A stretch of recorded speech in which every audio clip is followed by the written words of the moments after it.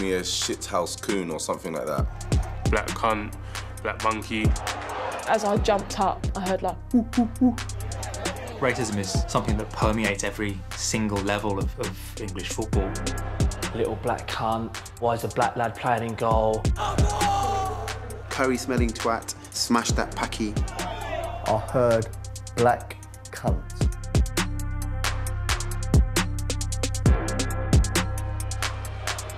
The warning has already been given that if the racist abuse continued, the game would be stopped.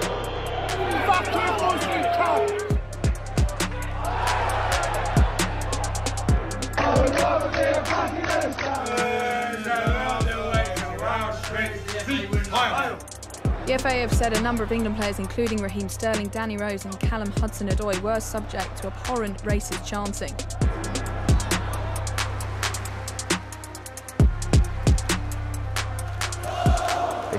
Happening again and again and again, and nothing's changing.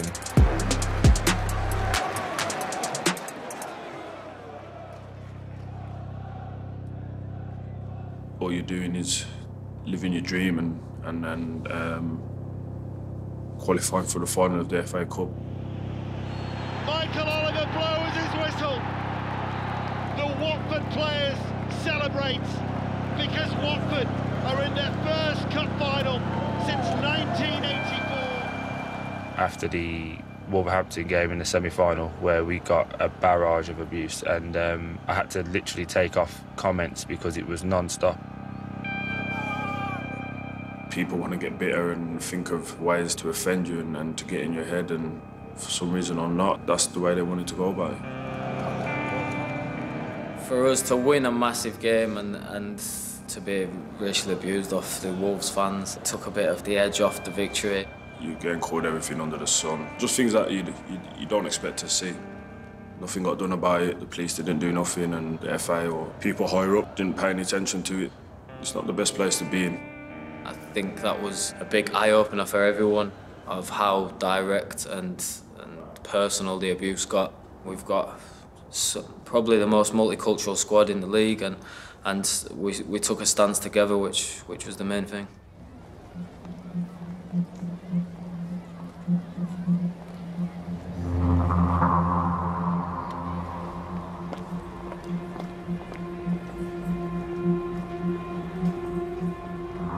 You know that we are looking to deal with racist abuse, hate crime, and any sort of homophobic chanting.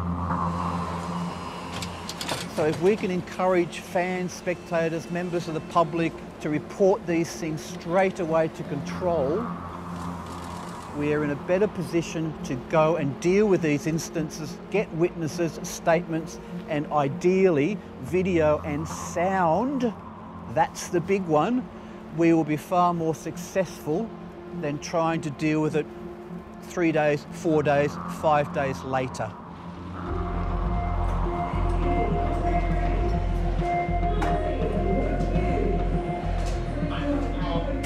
We've always been dealing with incidents of this nature for as long as I can remember. You know, and I've been involved with this football club well over 30 years. It's not something you ignore, you deal with it.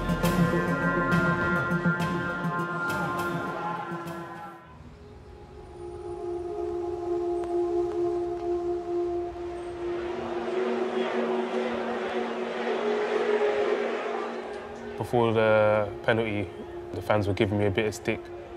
Just normal names that you hear within football. I thought, well, when I score, I'll give some back to you as you don't want to give it to me.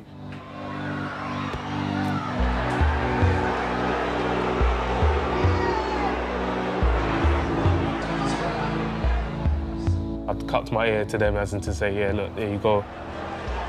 And then, then that's when obviously all the racist abuse started happening. Were just calling me a black cunt, black monkey. And obviously they were doing the monkey signs towards me as well, as, a, as I'm looking at them. After that happened, as soon as I got the ball, all about three and a half thousand fans just booing me every single second. The first time it happened, it went straight through me. And like, like just tingles went down my spine and I lost the ball. I think I gave it like it was like a goal kick. I ended up giving away when I could have held it in the corner. I feel like I'm getting booed because I'm black now. Like I just got racially abused on the side, and because we reacted to it, now I'm getting booed. The ref was saying that I sparked it all off. If I didn't do that celebration, then none of this would be happening, which as a ref, you shouldn't really be saying because that just says that. So because I've done a, a celebration towards them, that I should now receive racial abuse. I felt like I was in a different country, like I wasn't even in England, and it was a crazy thing to feel.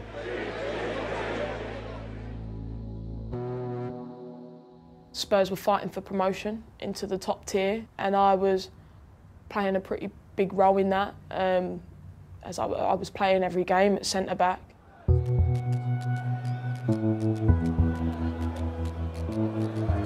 We had a corner.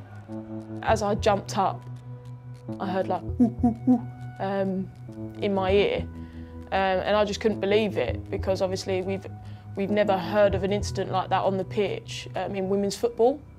I think the moment where it really sank in was when I went into the changing room and I was telling my teammates, I can't believe what just happened. Um, the number eight just made monkey noises in my ear as I just as I just went to head the ball, and I think at that point that's when I started to feel anger and frustration, and and I re just really couldn't believe what had just happened, and yeah, I sort of um, got a bit animated and upsetting at half time. So I decided to put a tweet out, and little did I know it, it absolutely blew up, and I can't believe the reaction that it got.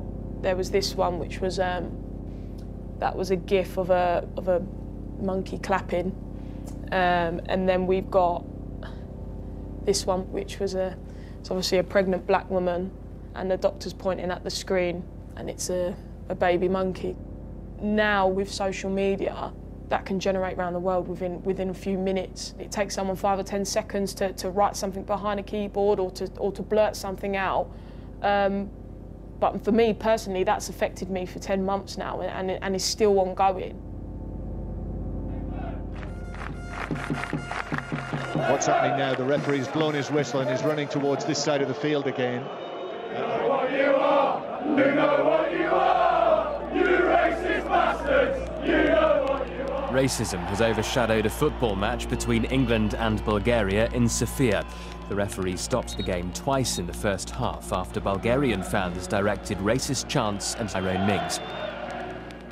We made a collective decision to continue the game, but the protocols had been followed, um, and if it happened again, we would have then perhaps moved on to the next step and come off the pitch. People say players shouldn't walk off the pitch. To me, that is just standing there and accepting it. The only person that really is going to protect you and fully look after you is yourself, really. If you call us a nigger, black cunt, monkey, whatever it is on the field and we hear it, you know that will most likely affect our performance. It's, it's how you deal with it personally. I mean, no one really has the right to tell you how to react being racially abused.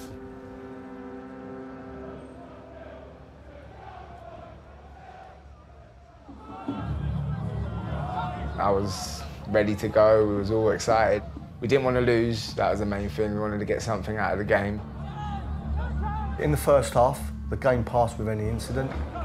Second half, there was an incident in the penalty area. The referee saw fit to give him a penalty. And then the hatred started. They was checking the gate, like uh, if they catch me, they're going to, to do something very, very uh, bad to me. My goalkeeper went to the side of the goal and he was spat at on his head. And then he was spat at again on his jersey. It's my job. And uh, to doing my job, and people insulting me, treating me differently, and spit on me is not fair. Now, for me, the game should have been abandoned then. You can't ask the goalkeeper to turn his back on these fans, step back on his line and attempt to save a penalty.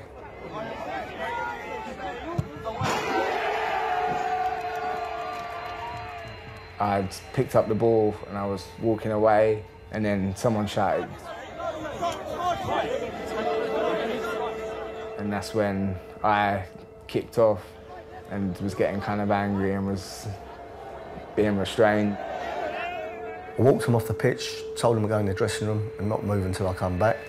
And my captain stopped him in his tracks and he said to me, please don't send us back out there, we don't want to go out there. I said, 100%.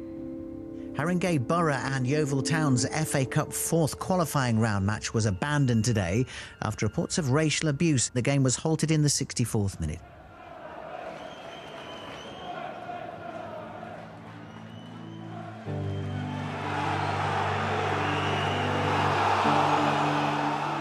The people who go and watch football and play football are not separate from society, they're a part of society. However, football has always provided the outlet.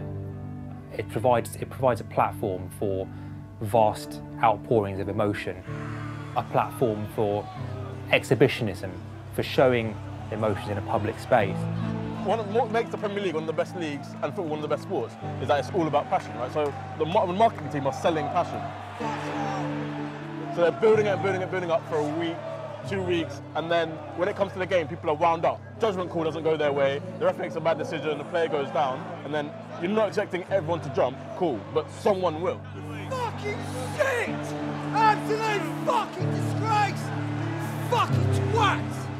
Football matches and football stadiums are probably the most passionate and um, environment, and maybe aggressive at times environment you'll be in, but racism can't be your go-to way to, to let off some steam, you know, it's, it's unacceptable. Five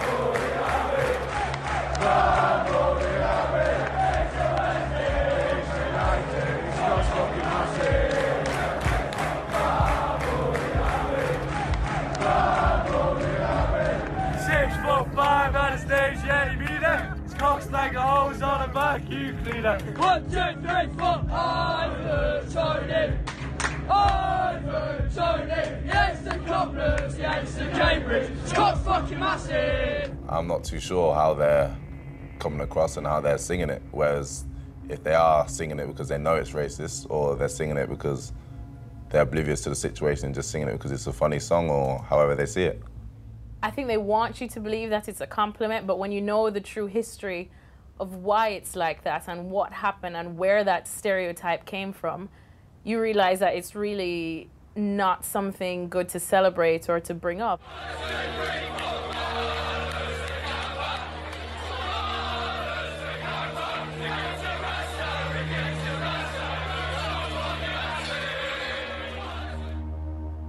The abuse that players get, people just expect these human beings to act like robots and, and pretend that nothing is wrong and that everything is fine.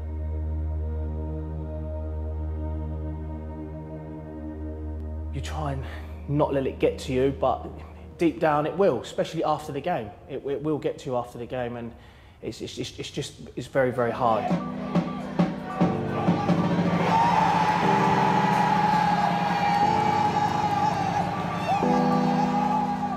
I'm 29 now, um, and I've pretty much had it most weekends. I had one at a game where just before the game started, I touched my bar and then he just laughed at me and said, "Hi, look at you, you monkey." So look, imagine thinking, right, make sure you start right, make sure your kicking's right, make sure you're switched on. And then that gets said to me before the game's even started. They're an animal. I'm not, I'm not, I'm not an animal. I don't think you can understand it unless it's happened to you. I kind of just say I'm fine and I get on with it and I crack on and then you're kind of just pushing the emotions to the side really, which you shouldn't be doing because it's a, it's a serious topic and it, it drains you a lot mentally. You kind of don't really know how to react. You're, you're just kind of, you feel stuck. That's the best way to explain it. You feel stuck. I managed to play in the Premier League, played a lot of games in the Championship, and I played in League One and League Two. Played for England at under 20 and under 21 level, played for Team GB in the Olympics. For me, one of the biggest contributing factors to me retiring at 28 was due to the amount of racism that exists in the game. Even up until now, I've probably really been struggling feeling a bit sort of isolated.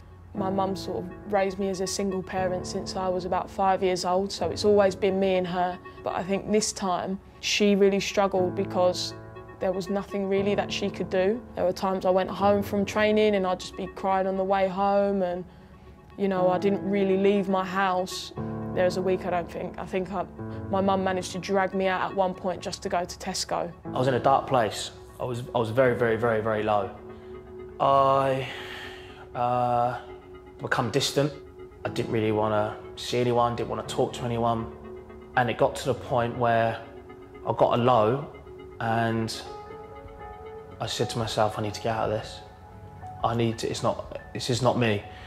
So I, I started seeing a counsellor and that's, it was very hard. No one, this is the first time I've, I've actually said it, only one person knows and that's the actual counsellor herself. Uh, it was hard, very, very hard.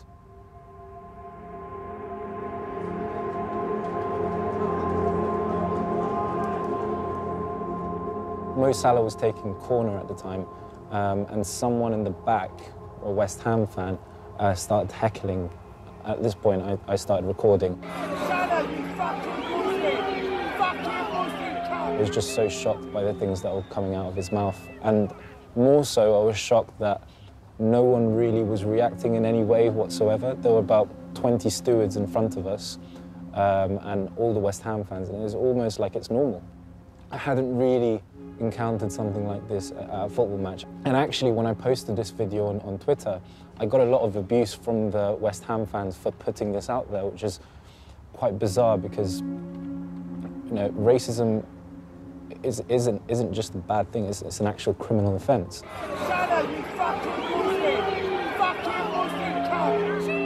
It's almost terrifying, actually, to, to, have, to have this kind of abuse being shouted at um, so openly, so casually.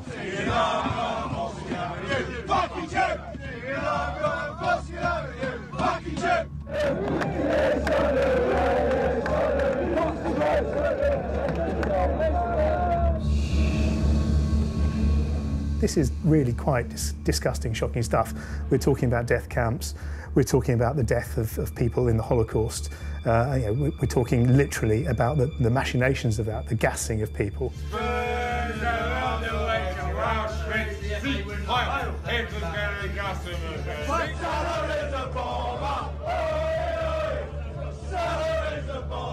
I think when you have people in senior positions that are leading the country who openly, like very openly, have racist views, it makes it a lot easier for people to be open with their racist views.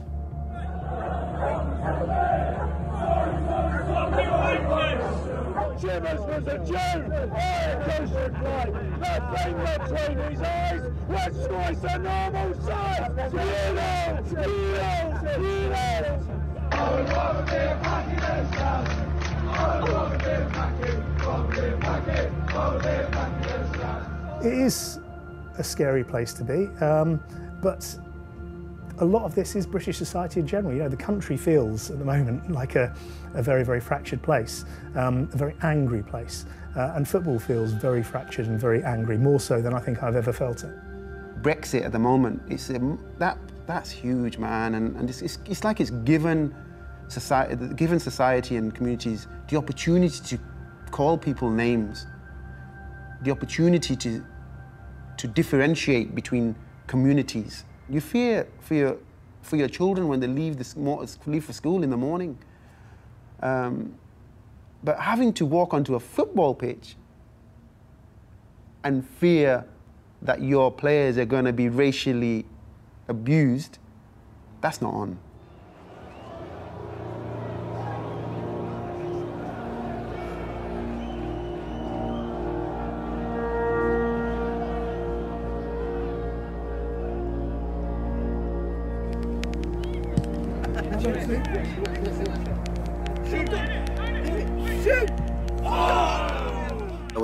Semi-final. We came to the point where I had to take my players off the football pitch because the players, the players felt that the whole evening was a mess because of the officials, that there was a genuine bias towards the opposing team based on the fact that we had black players, Asian footballers on our team. Since then, it's been nothing but grief. Row, row, be alert. Hey, Jay, unlucky. We're seen as probably the biggest Asian football club here in the UK. Gone are the days where you're physically abused or you're verbally abused by being called a packy twat or a packy cunt. It's now a different type of racism that we're facing in this day and age. Lucky Hamza, second balls, boys. Come on, we're not sharp enough. The whole structure, the whole setup of the football pyramid at the moment is not conducive to supporting clubs like ours. Come out, come out. I, for one, will never ever report an incident of racism or discrimination again. I won't bother. It's not going to change. You can't have someone making a decision on an incident of racism that's happened during grassroots football if you're a white middle class person. You don't know what it's like to be called a packy twat. You don't know what it's like to be called um, a monkey. You don't know what it's like to be told, go home, go back to where you've come from.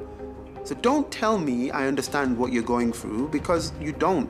And until you get people who, who've been through it or people who can understand what we're going through, nothing is going to change. Hey, just push up, Jerry. Stay, stay, stay, Jerry. Just go, go, go. Danny Rose now is pushed on from Maguire on this near side, the left. He goes back. We're all in this together as players. All the players are just there to earn a living, to live their dream, to be successful. The footballing authorities, FIFA, the FA, UEFA, they just need to do better for players, really.